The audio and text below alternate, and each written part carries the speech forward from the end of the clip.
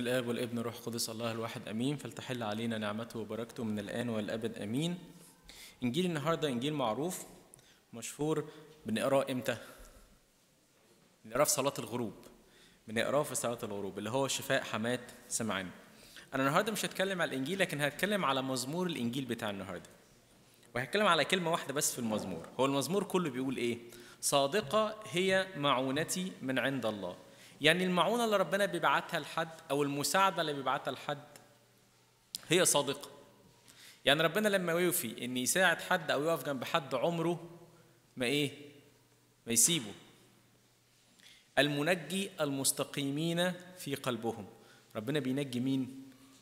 الإنسان المستقيم في قلبه. إنما الإنسان اللي قلبه فيه عوجاج دوت ربنا يبص عليه كده يقول له طب أنا أجي لك كده ولا أجي لك كده؟ يعني انجيك من إيه ولا من إيه ولا من إيه ولا من إيه ولا من إيه؟ لأن أنت ماشي إيه؟ يمين وشمال. إنما اللي ماشي مستقيم دوت القلب مستقيم القلب مع ربنا ربنا إيه؟ ينجيه. الله قاضي عادل. يعني ربنا يعطي معونة ربنا يعطي نجاة لكن في الآخر خالص هيبقى إيه؟ هيبقى قاضي. وقاضي عادل. كلنا هنقف قدامه في اليوم الأخير نحاسب حسب أعمالنا. يقول لك تعالى حبيبي أنا اديتك من روحي اديتك أسرار اديتك تاخد جسدي ودمي اديتك إنك تعترف وتتوب اديتك كلامي في الكتاب المقدس اديتك إنك تقف وتتكلم معايا. استخدمت ده إزاي؟ عملت بيه إيه؟ فين ثمرك؟ كلنا هنقف قدام ربنا في اليوم الأخير. الله قاضي عادل. قوي وطويل الروح. أنا هكلمكم النهاردة على موضوع طويل الروح ده. طول الأناة واحدة من أجمل صفات ربنا. كل صفات ربنا حلوة وجميلة لكن موضوع طول الأناة دوت مهم قوي. الله طويل الأناة ليه يا رب أنت طويل الأناة لأن ربنا رحوم وحنين وعاوز يغفر خطايانا. ربنا عاوزنا كلنا. عشان كده ربنا بإيه؟ بيطول عنايته علينا. ربنا صابر علينا. ربنا صبر علينا النهارده؟ لا ده صبر علينا من بدري قوي. لما نمشي كده مع تعاملات الله مع الناس نبتدي من العهد القديم نلاقي أول تعاملات مع ربنا مع ناس كانت صعبة كان شعب بني إسرائيل. شعب بني إسرائيل كان شعب صلب الرقبة. كان شعب مش سهل. ربنا اداهم موسى يقول لك وكثيرا ما تعبوا موسى. يعني موسى تعب كتير قوي. يقول إيه وكان إيه حليما جدا أكثر من جميع الناس الذين هم على وجه الأرض. يعني رغم إن موسى كان شخص حليم صبور لكن شعب بني إسرائيل كان شعب قاسي صلب الرقبة. ودي حاجة جميلة. إحنا النهارده بنتكلم عن طول آناة وقولوا إن موسى كان حليم جدا كان حليما جدا أكثر من جميع الناس. طب جبت منين يا موسى طول الآناة دوت؟ من ربنا. كانت طماف إريني ليها مقولة حلوة قوي. يقول لك اللي يقعد مع ربنا كتير ياخد من صفاته. يعني إيه؟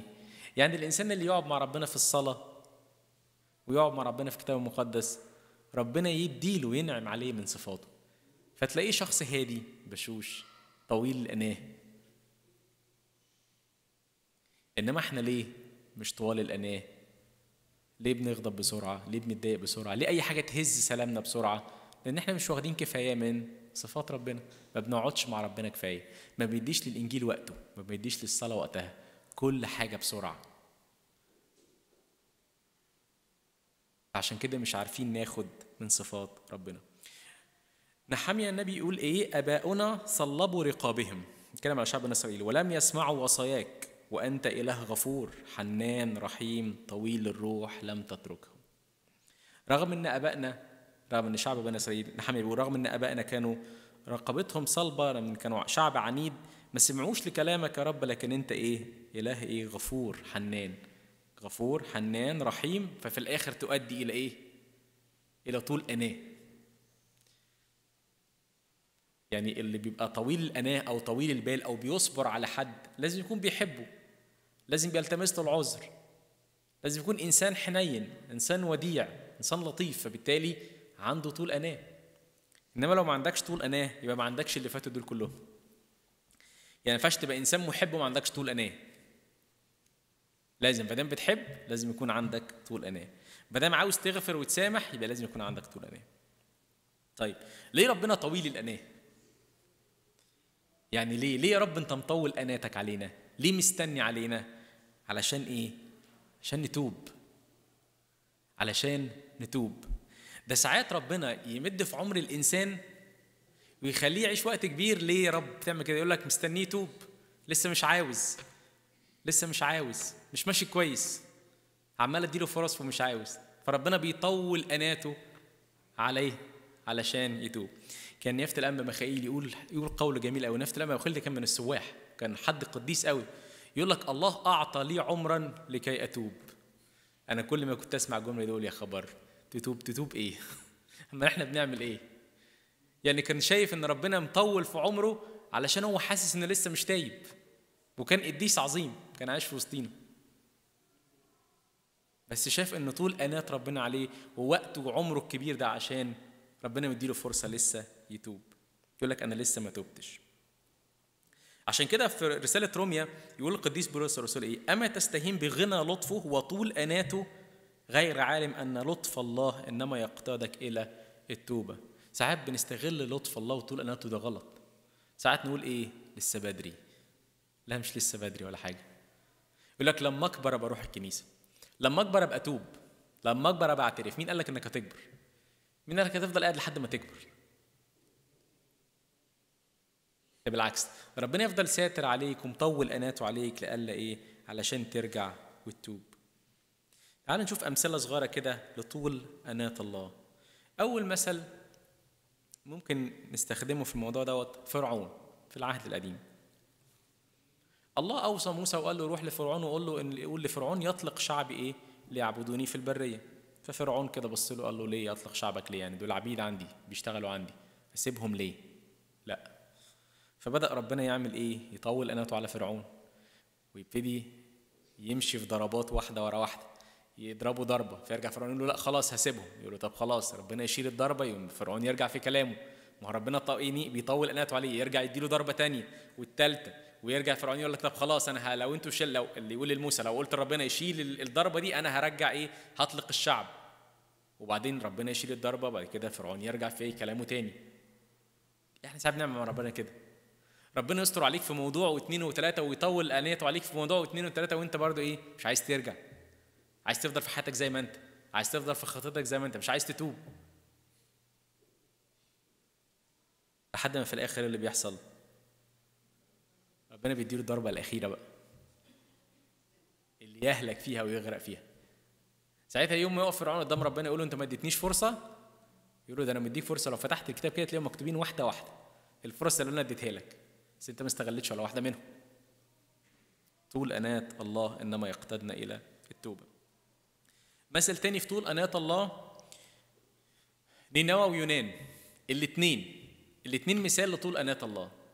شعب نينوى شعب أممي ما بيعبدش ربنا مش عايز يسمع كلام ربنا شعب عايش في الخطية. ده بل شعب بيجد لذته في الخطية. فربنا يفضل صابر عليه صابر عليه صابر عليه. وبعدين في الآخر خالص ربنا يبعت لهم مين؟ يونان. يونان روح قول للشعب دوت إن لم تتوبوا وترجعوا تنقلب المدينة. يونان يعمل إيه؟ يونان مش عايز يروح. يونان عايز يزوغ برضه. فربنا إيه؟ يطول باله على يونان يقوم ياخده. ربنا يقول له امشي يمين يروح هو راح في أقصى الشمال. طيب. ربنا يديله إنذار كده يقوم البحر يقول له خلي بالك في مشكلة عندك لازم ترجع ليك رسالة لازم تعملها بس أنا مش عايز. فربنا إيه عشان ما إيه ما يغضبش من يونان فراح مديله فرصة ثانية إيه يا رب الفرصة دي؟ ان يروح الناس النواتية اللي في السفينة يرموه في البحر فيروح ربنا عدد له حوت وايه وياخده. ما ده من طول انات الله لأن كان ممكن الحوت ياكله. مش كان ممكن ياكله؟ لا. لكن ربنا قال له طب خلاص هديك فرصة ثانية يقعد يونان في بطن الحوت ثلاث أيام وثلاث ليالي يصلي ويقول صلاة جميلة قوي. وينزل الحوت يرميه على الشط يروح لأهل نينوى يقول لهم الايه الكلام اللي ربنا قاله إن لم تتوبوا وترجعوا فإن المدينة إيه؟ هتنقلب ربنا هيغضب عليكم. مدينة مسيرتها ثلاث أيام. يونان عمل إيه؟ مشي فيها يوم واحد بس. مشي يوم واحد بس. فايه اللي يحصل؟ المدينة كلها تتوب. المدينة كلها تتوب. دي حاجة حلوة حاجة كويسة. حاجة كويسة إن أنت من أول ما تسمع صوت ربنا تستجيب. يعني بصوا ده شعب بعيد عن ربنا خالص وسمع كلمة واحدة بس من يونان يوم واحد هو ماشي في في المدينة بيقول لهم شهر كده توبوا وارجعوا توبوا وارجعوا عملوا إيه؟ تابوا إحنا لما نيجي نقف قدام ربنا يقول لك سمعت كام وعظة في كنيستك؟ سمعت كام مرة حد يقول لك لازم ترجع؟ سمعت كام مرة أب اعترافك يقول لك؟ سمعت كام وعظة على اليوتيوب بتقول لك كده؟ دلوقتي إحنا على اليوتيوب بنسمع وعظات قد كده، طول ما إحنا عمالين نسمع وعظات وعظات وعظات. ربنا يقول لك بتعمل إيه بالكلام ده؟ يجوا أهل أهل نينوى في اليوم الأخير الناس اللي تابت دي تقف قدام ربنا وانت واقف قدام ربنا لك بص دول في يوم واحد تابوا انت بقالك 50 سنة عمال تسمع مش عايز تتحرك. ورغم ذلك الله يفضل إيه؟ مطول باله عليه نيجي المثل تاني لطول أناة الله شاول. شاول كان فريسي بيضطهد الكنيسة يكره المسيحيين. ورغم ذلك الله فضل صابر عليه ومطول أناته عليه. يا رب ده بيضطهد كنيستك ده بيقتل ولادك. ربنا يقول لك لا ده ليه إناء مختار. أنا محتاجه. أنا عايزه. ساعات لما الكنيسة بتقع تحت ضيق تلاقي كل صلواتنا فيها روح انتقام كده ما أعرفش جاية منين. ربنا يبص لنا كده أنتوا إيه اللي بتعملوه ده؟ أنتوا بتصلوا إزاي كده؟ يا رب انتقم من الناس دي ورب رب ولع في الناس دي ورب مش عارف اعمل. ربنا يقول لك إيه ده إيه ده إيه ده إيه ده. ما دول ولادي برضه ما أنا عاوزهم. ما دول ولادي أنا إيه أنا عاوزهم. لو كان ربنا بيمشي بنفس منطقنا في إن هو ما يطولش آناته ويهلك الناس دي كنا خسرنا مين؟ كنا خسرنا بولس. كنا خسرنا بولس برسايله. ليه؟ وكان ربنا ساعتها هيبقى عادل كان هيبقى عادل. كان هيبقى عادل. لو كان جاز شاول على حسب اضطهاده للكنيسة كان ربنا هيبقى عادل كان يبقى قاضي عادل زي ما مكتوب كده. لكن رغم إن الله قاضي عادل لكن برضه عنده إيه؟ عنده طول آناه. عارف إن الشخص دوت يوم ما هيرجع لربنا هيرجع بقوة. هيرجع يجيب ناس كتير لربنا. فهنا طول اناه الله كان ليها ثمر كبير. نفس القصة ربنا يقول لك إيه؟ أنا مستني ومطول أناتي عليك زي ما كنت مطول أناتي مع شاول. شاول استغل طول الاناه ده إن رجع لربنا وجاب له شعب لا حصر له ولا عدد. عمل ثلاث رحلات تبشيرية في كل أنحاء العالم. لك أنا بقالي سنين مستني. عملت إيه؟ جبت مين الكنيسة؟ ما بنعرفش نجيب أصحابنا اللي بعيد عن الكنيسة. يكون واحد أعرفه ما بيجيش الكنيسة الواحد حتى بقاش عنده القدرة إنه يجيبه. شوفوا بولس الرسول ده اللي كان بعيد جاب كام واحد للكنيسة؟ ده اسس كنايس مش جاب واحد. لو كل واحد فينا يجيب معاه واحد ما بيجيش الكنيسة يعني مش عايز أقول لكم ربنا يفرح بالشخص ده قد إيه. هيفرح بالاثنين هيفرح إن أنت بتعمل عمل كويس إيجابي وهيفرح بابنه اللي كان بره دوت. ده طول إيه؟ طول الأناة. إيه أهمية طول الأناة؟ موضوع طول الأناة ده مهم قوي ليه؟ لأنه دي ثمرة من ثمار الروح القدس. دي ثمرة من إيه؟ من ثمار القدس. محبة فرح سلام بعد كده نقول إيه؟ طول أناة ولطف. ده بعد كده. لكن تلاقوا طول الأناة واقعة بين إيه؟ بين السلام وبين إيه؟ وبين اللطف. كأن ربنا يقول لك إن الشخص اللي عنده طول اناه دوت يحتفظ بسلامه ويبقى شخص لطيف مع كل الناس. وده فعلا الشخص اللي عنده طول أناه تلاقوه مفيش حاجة تهزه ابدا. الدنيا تقوم وتقعد من حواليه وهو ولا ليه؟ عنده سلام. مش خايف. وفي نفس الوقت تلاقيه إنسان لطيف يتحمل الناس. عشان كده تلاقوا في صلاة باكر تلاقوا أول جزء أول قطعة نصليه في البولس يقول إيه؟ أسألكم أنا الأسير في الرب أن تسلكوا إيه؟ كما يحق للدعوة لا تدعيتم عليه بكل تواضع قلب وإيه؟ وداعة. وبعد كده طول أناة نعمل إيه؟ محتملين بعضكم بعضا يعني بولس الرسول على الصبح كده وأنت قايم كده يقول لك معلش طول بالك واحتمل الناس. معلش. لأجل المحبة احتمل الناس اللي معاك. الإنسان اللي عنده طول أناة يحتفظ بسلامه وإيه؟ ووداعته. الشخص اللي عنده طول أناة ما يسرعش للغضب ما تلاقوش غضوب ما يغضبش بسرعة. ما يغضبش بسرعة. يحتمل غيره وفي احتماله لغيره يقلل غضب غيره. يعني يمتص غضب الآخر. لأن ساعات أنا ممكن أقول حاجة أقول كلمة تخلي اللي قدامي يشيط. صح؟ مش بتحصل؟ ممكن أقول كلمة لأن أنا مش صابر مش قادر أصبر فأخلي اللي قدامي إيه؟ ما يتحملش. يقول إيه؟ الكلام اللين يصرف الغضب والكلام الموجع يهيج الصف. لو أنا ما عنديش طول اناه هيبقى كل كلامي إيه؟ موجع. فالناس ما تستحملش فيبقى فيه إيه؟ الغضب من ناحيتين. عشان كده واحد من العلاجات اللطيفة لحالة الغضب يكون غضبان أنت لازم تطول بالك. أوكي؟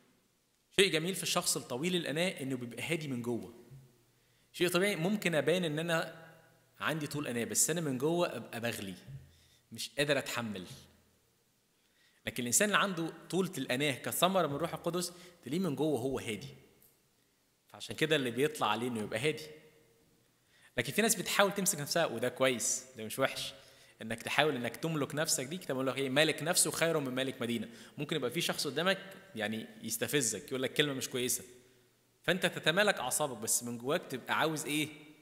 عاوز ترد مش مش قادر مش مستحمل. ده معناه إن لسه ثمرة الإيه؟ ثمرة طول الأناة دي لسه عندك إيه؟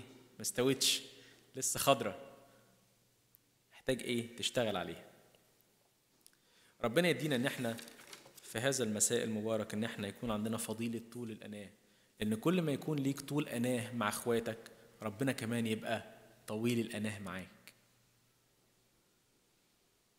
يقول لك كل ما تريدون أن يفعل الناس بكم افعلوا أنتم أيضا. لو عايزين الناس تستحملكم لازم نستحمل الناس. هي المعادلة كده. كل اللي أنت عايزه تترجاه في الناس تعمله معاك لازم أنت كمان تعمله مع الناس. لأنك لو ما عملتوش ما تستناهوش. صح كده ربنا يدينا كل نعمة وبركة ويدينا نحن نتحلى بثمرة الروح القدس وهي طول الأناة لإلهنا كل مجد وكرامة من الآن والأبد.